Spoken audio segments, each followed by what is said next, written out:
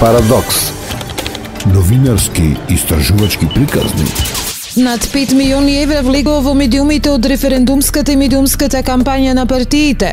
Пари во медиумите и покрај забраната влегуваат и од општините и од јавните предпријатија.